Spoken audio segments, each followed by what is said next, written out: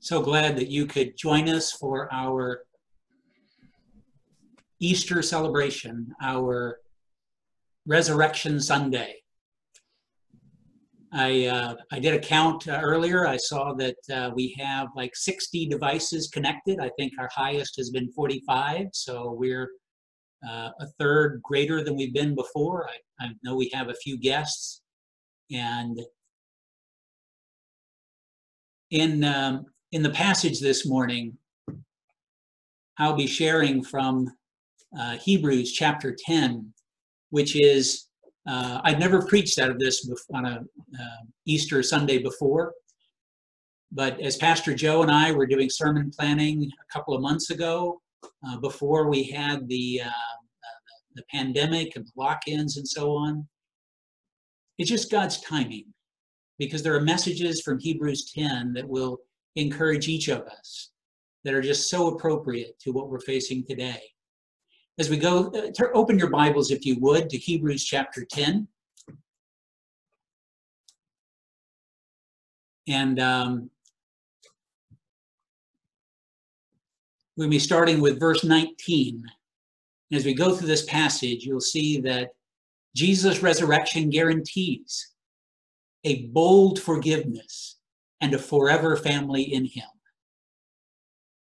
The resurrection is the guarantee the, the crucifixion is what purchased these things for us, but the resurrection guarantees that these things are secured a bold forgiveness and being in a forever family with Him.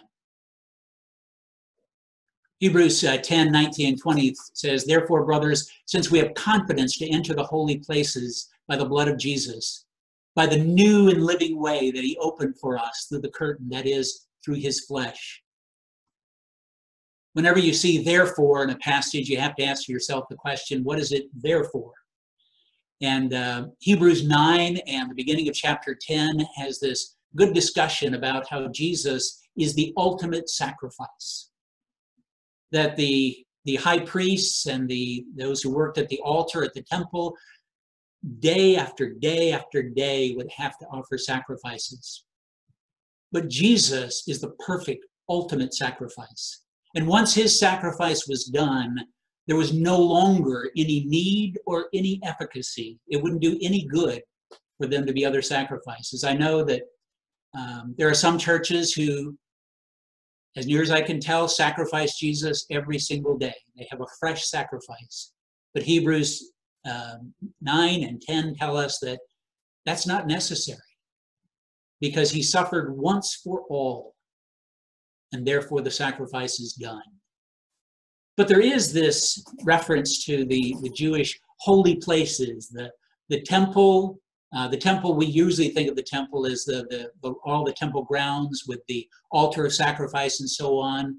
But there was also the, the building inside that, which uh, housed the, uh, the altar of incense, the, um, uh, the showbread, the bread that was placed before the Lord, the, the golden lampstands would always be lit. But then behind that, there was the Holy of Holies. And the, um, the priest would stand before that and offer. You can see the table in front of him is where he's doing the incense. And the um, uh, um, once a year, he would go behind that curtain to the most holy of places and offer that. But Matthew and Mark tell us that when Jesus was crucified, when he said those last words, when he gave up his spirit, when your redemption and my redemption was accomplished, the veil of the temple was torn from top to bottom. Not from the bottom to the top, as someone might do, but from the top to the bottom, as only God could do. Symbolizing that all of us have access to the most holy of places, the presence of God. Whereas before there was a high priest who had to, to mediate, and now we have the opportunity to go in directly ourselves into God's presence. We can boldly go in. That word boldly has the idea of speaking whatever's on your mind. I love the fact that little kids, they'll come up and they'll just say whatever they want to say Art Linkletter had a segment called Kids Say the Darndest Things. Um, and kids will do that. They're bold. They, they have this confident relationship with mom and dad, and they can just say it. You, having trusted in Jesus, can have that confident relationship, that boldness to enter into his presence and to say whatever the Holy Spirit lays on your heart, knowing that God will accept it. That, that tearing of the, the veil in the temple opened a new and living way. Jesus in John 14, 6 says, I am the way, the truth, and the life. No one comes to the Father except through me. Jesus didn't say, I'm a way. He is the way. He didn't say he was a truth. He said he's the truth. He didn't say he was a way to get to life. He said he is the life that he shares. Everyone comes to that living way, that living Savior. Without the resurrection, we would have a dead teacher. We would have a sad sacrifice. But now we have a living way. And everyone can come to the Father through him. Hebrews 10 goes on to say in verses 21 and 22 And since we have a great high priest over the house of God, let us draw near with a true heart in full assurance of faith. As we mentioned before, the high priest would do those, those uh, sacrifices. He would go into the Holy of Holies once a year. The priests, the other priests, daily they would offer sacrifices for sin. They would offer opportunities for fellowship with God. They would be an intermediary between the, the person wanting to offer something to God and God Himself. The priest would be that. But we have a great high priest, Jesus Christ. And He's over the entire house of God. Now, that house of God is, is God's people. That, that's you. You are the house of God. The, the building that we sometimes call the house of God at 4317 County Road 46 sits empty this morning. The lights are off, the heat is off, no one is stirring, except for a few church mice. We're John Eiler, our, our, our custodian, is working on those, but empty, empty. But the house of God is not empty. The house of God is gathered in front of all these screens and on these telephones. The house of God in all these churches around the country. You've heard of some churches uh, having services in a parking lot or a movie theater. Many, many churches are live streaming. They're right now watching their pastor share the good news of Jesus Christ, the celebration of the resurrection. The house of God is open for business because you are his children. You are the house of God. We have that great high priest who makes it possible for us to be the house of God. So since we have that, high, that great high priest over the house of God, let us draw near with a true heart in full assurance of faith. Our hearts are true. There's, there's nothing secret or hidden. It's totally revealed before God and before us. We have this full confidence of faith. We don't have to wonder is it possible to go to Him? Is it possible to find forgiveness? Is it possible to have fellowship with the Creator of the universe?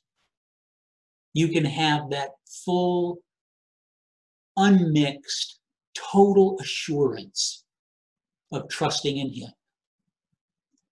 Earlier in Hebrews, uh, the writer was, in Hebrews chapter 4, the writer was talking about that confidence that we have. And he expressed it this way there in Hebrews 4.16.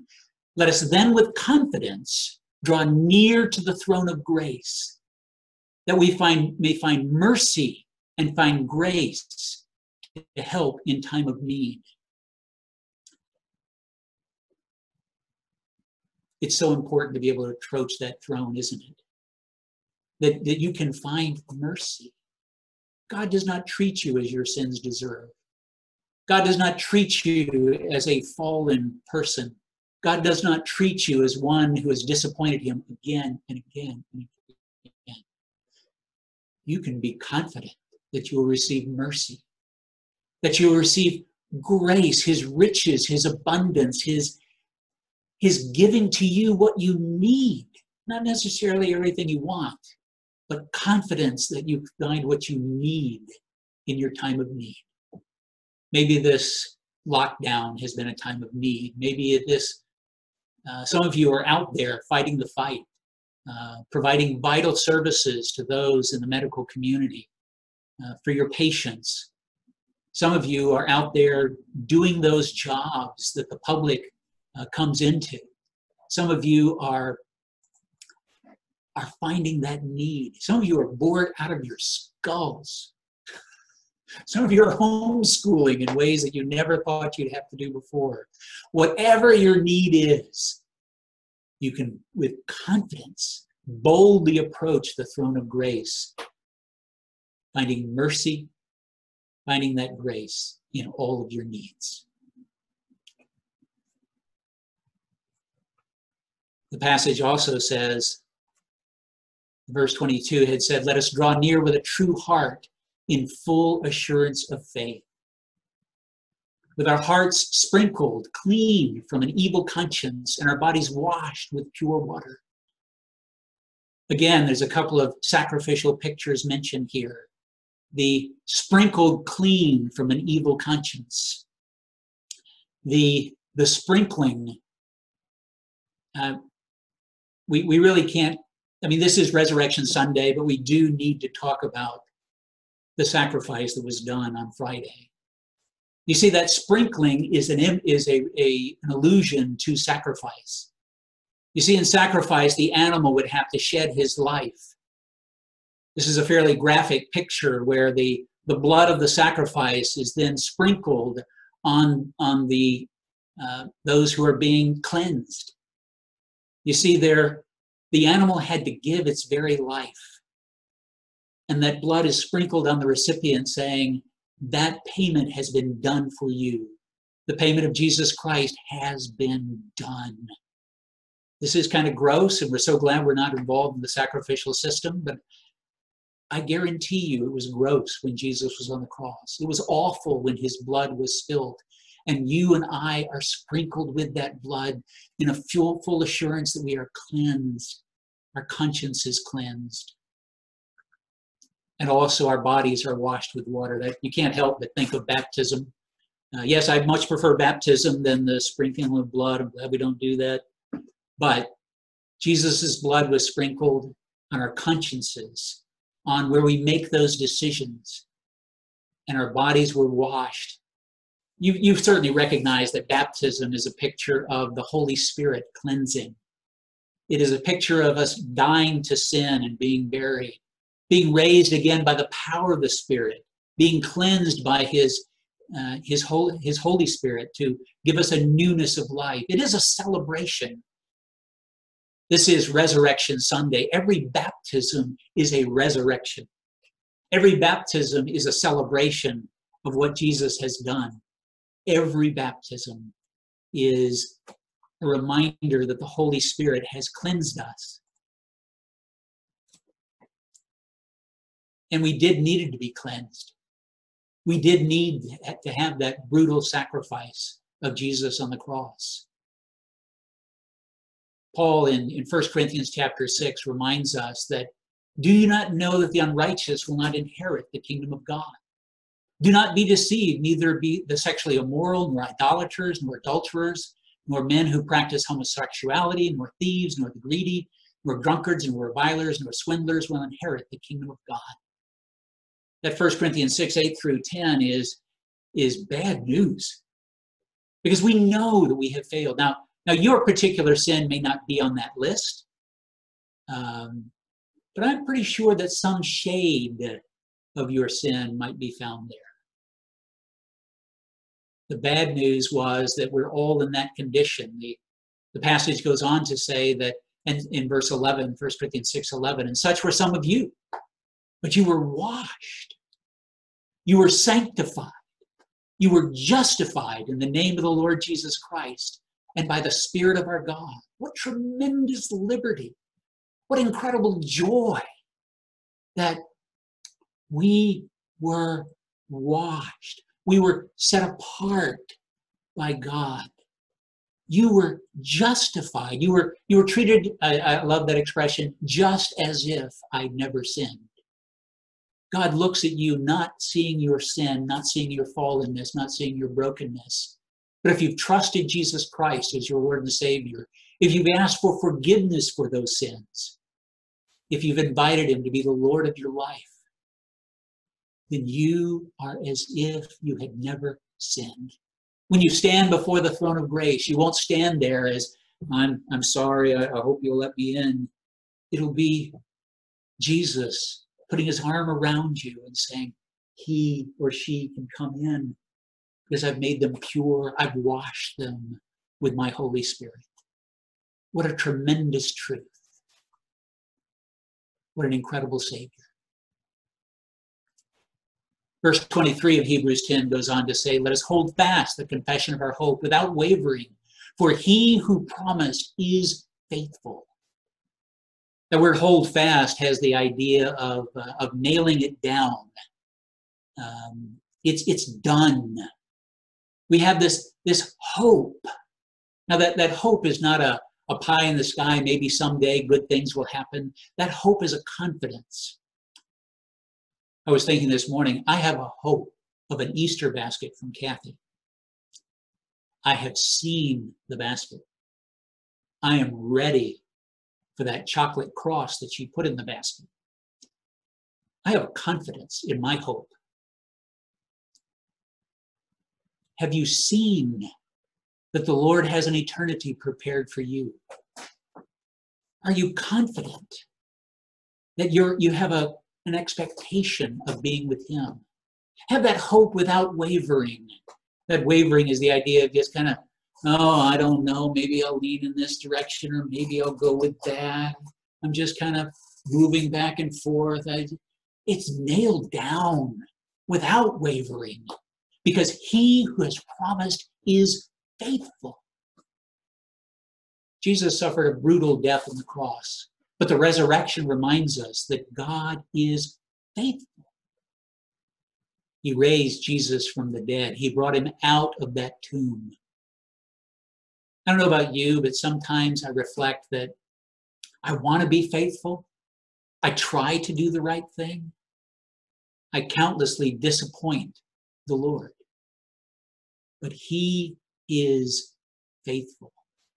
It doesn't depend on my faithfulness, it depends on His faithfulness. I can hold fast and be faithful because He has made that promise solid.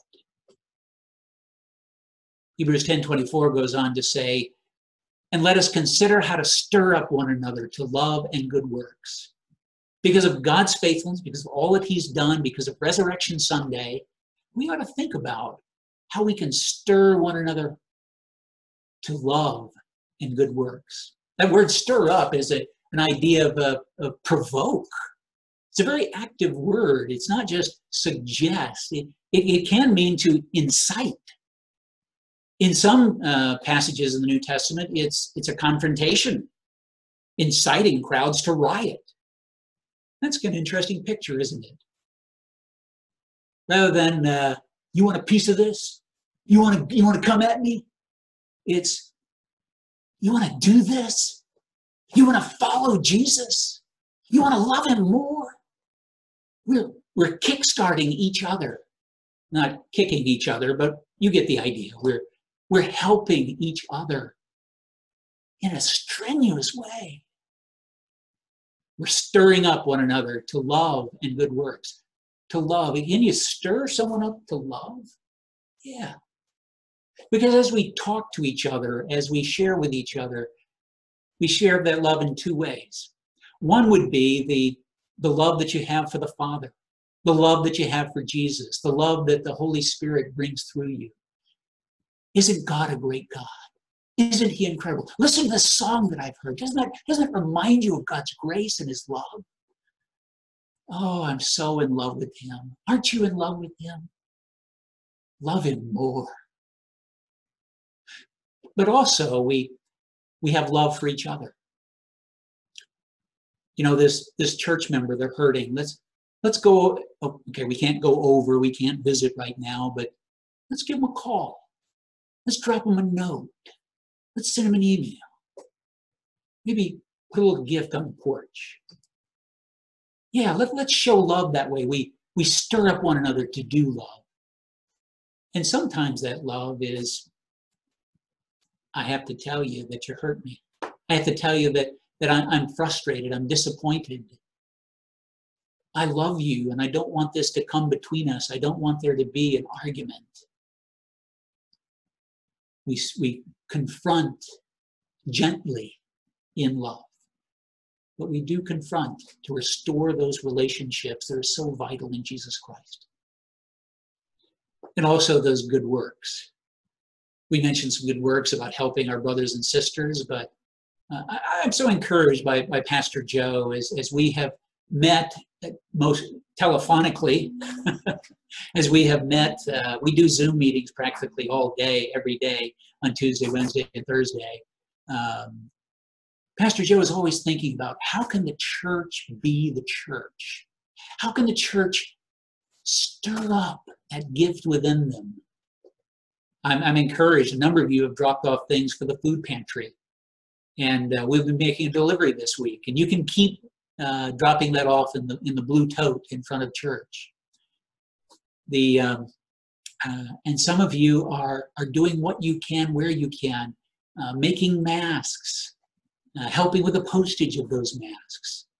We stir one another up. That being the church is not just sitting there on your couch or in the pew, but it is it is doing the things that honor God.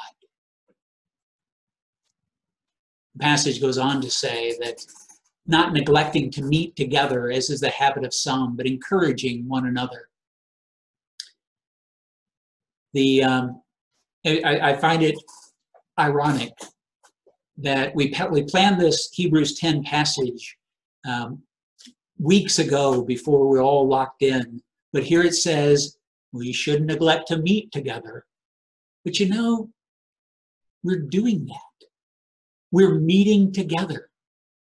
I don't mean to embarrass anybody whose picture shows here, but um, we are the church gathered together and I love the fact that, that people turn on their cameras and they, they wave and they say hello, how you doing, and, uh, and and talk to the kids.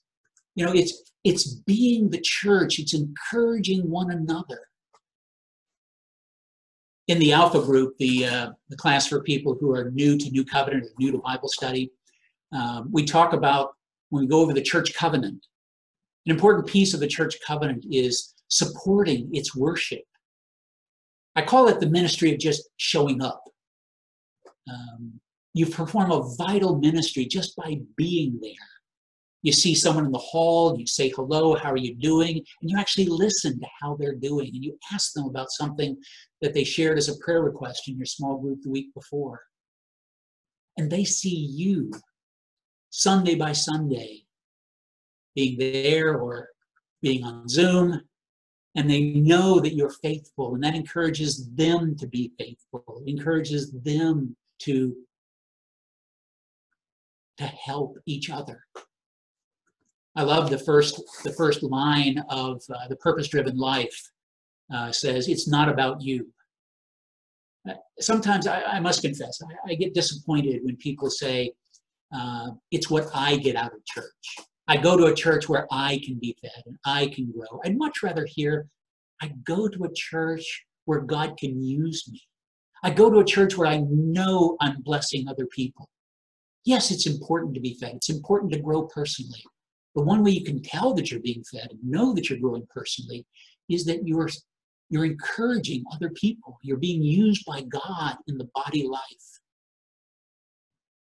that word encouraging, I, I looked it up because you know me, I'm a I'm a I'm a high I and I love to encourage people and build them up. I'm a cheerleader. Um, but that word encouraging is in the Greek parakaleo, which is what the Holy Spirit does. He's the paraclete. You are being used by the Holy Spirit to build up other people, to encourage them, to, to stir them up, to move them on. The Holy Spirit works through you in the lives of others, and the Holy Spirit works in them to build you up.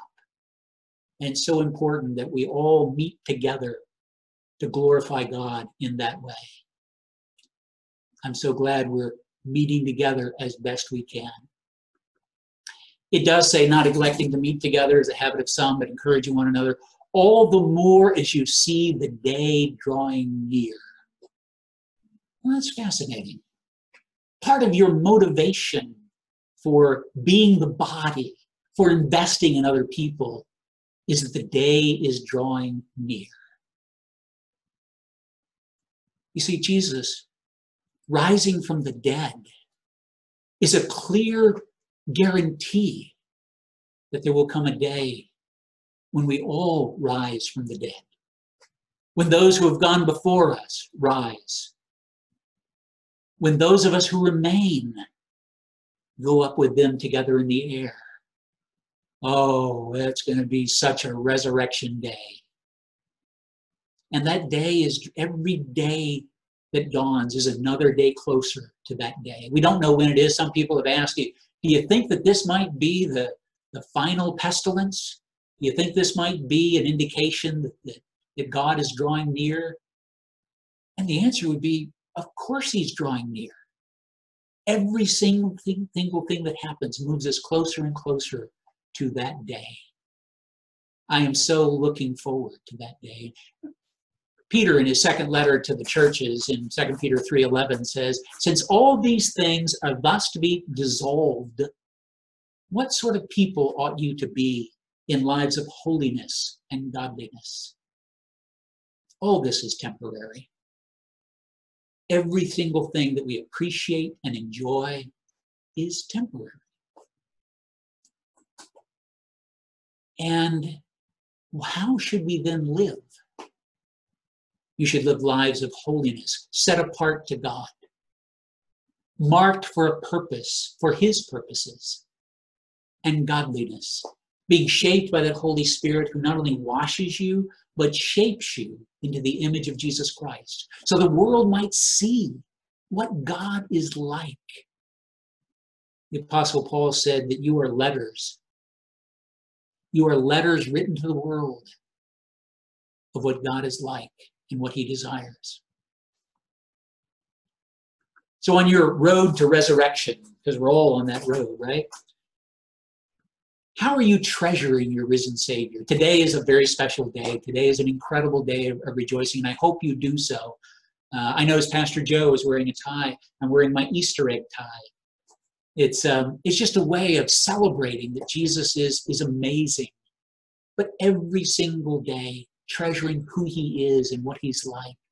That he has purchased all these things for you, he's done all this for you. And how often do you boldly seek forgiveness? I, I, I think there's some this attitude in the Christian life that says, Jesus forgave all my sins, and then it was up to me to do the right thing from then on. But 1 John 1, 1 uh, yes, 1 John 1, 9 and 10 says, if we confess our sins, he is faithful to forgive our sins and to cleanse us from all unrighteousness. He did that through his sacrificial death on the cross. He did that, he guaranteed it by his resurrection. You got it. You've got that opportunity to find forgiveness every single time. Go to him. And how are you encouraging your brothers and sisters in Christ? Um, I, have been so encouraged by the number of people who've shared that they're praying for me, uh, by the, the getting together with people through Zoom, just the, the notes that people have sent. How are you encouraging your brothers and sisters? How are you connecting with them? A few weeks ago, I talked to someone who said, I'm just lonely. I'm just by myself. I'm not connecting with other people. It, it's so frustrating. And I suggested, why don't you call them Why don't you reach out to them? Because they're probably lonely and they'd like somebody to talk to. And once this lockdown is done, how you make those opportunities to encourage your brothers and sisters in Christ. I'm going to uh, to finish this with a um, a video. I know we're, we're doing multiple songs this week, but it's Easter. It's Resurrection Sunday. We can celebrate a lot. I came across this this week, and it was just so encouraging to me um, because it talks about how incredible Jesus is, that He is worthy, that He is amazing, that there will be a day. Revelation chapter 5 is my favorite book in the entire Bible, my favorite chapter. I just love it when it talks about Jesus. I'm going to leave this with you, and then after the song is over, uh, Pastor Joe will wrap things up. Let me pray for you. Lord, I thank you that Jesus has overcome. I thank you that you gave your life for me. You've cleansed me with your Holy Spirit. Lord, I pray for those who, who are lacking confidence right now, who are not sure of where they stand. Lord, help them to turn to you and to make sure on this Easter Sunday, on this resurrection day. Lord, I pray for those who, who have trusted in you, help them to keep trusting in you, knowing that they can talk boldly to you because you're their daddy. Lord, may you be glorified at all times and we glorify you in your body, in your church, through Jesus. Amen.